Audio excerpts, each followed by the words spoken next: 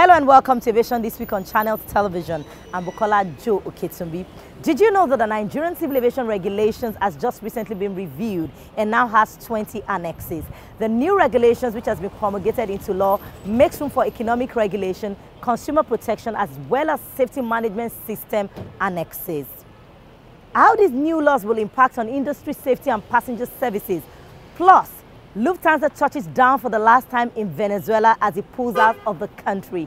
That's our menu on today's program, and our flight takes off right now.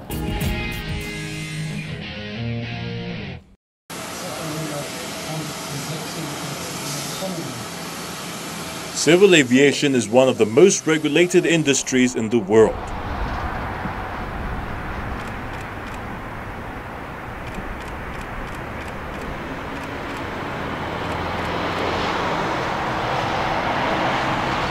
The operating principles, guidelines and standards applied in civil aviation are based on the standards and recommended practices of ICAO and stipulated national laws and regulations. In turn, every single technical personnel, equipment and airport must be certified and monitored by competent regulatory agencies known as civil aviation authorities.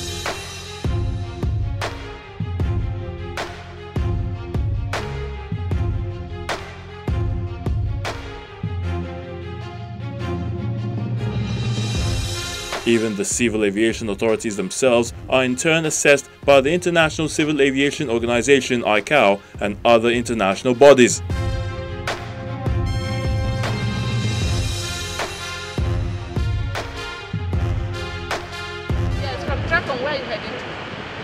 The history of civil aviation regulation in Nigeria began when Nigeria had bought over the equities of Elder Dempster and other stakeholders in West African Airways Corporation following the withdrawal of Ghana in 1958.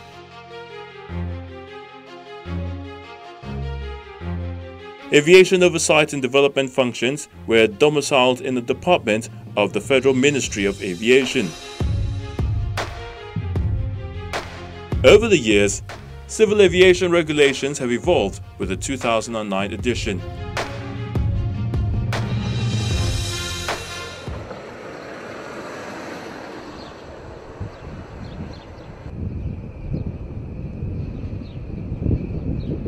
NCAA regulating the industry through a series of well-coordinated procedures, the authority sets safety standards, issue licenses and operating certificates to personnel and service providers and monitors their compliance through a range of surveillance activities. Where safety rules are breached, is expected to hand out sanctions.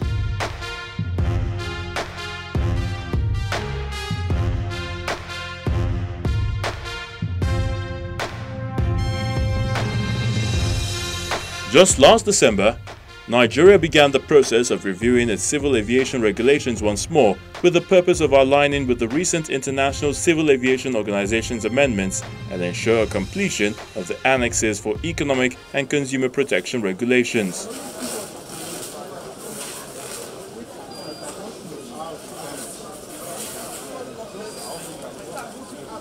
The review has now been promulgated in 2015 and will now take effect from July the 1st, 2016.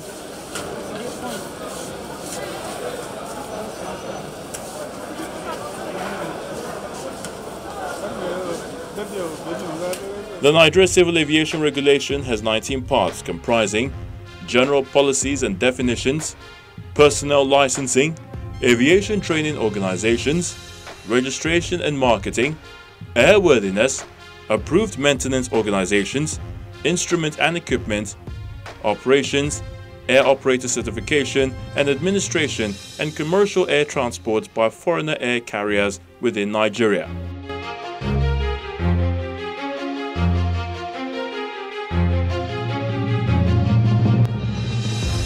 Others include commercial aircraft operations used for specialized services or aerial works, aerodrome regulations, air navigation services, carriage of dangerous goods by air, environmental protection regulations, and finally aviation security and offences.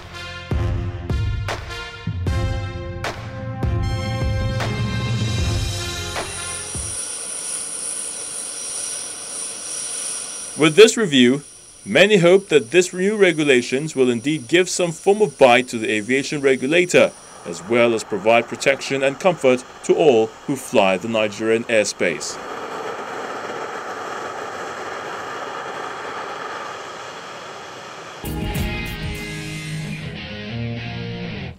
According to our guest, the overall aim of this review is to ensure that the industry becomes safer by paying close attention to both economic regulations, airline health and consumer protection. It starts by telling us why this amendment has become necessary.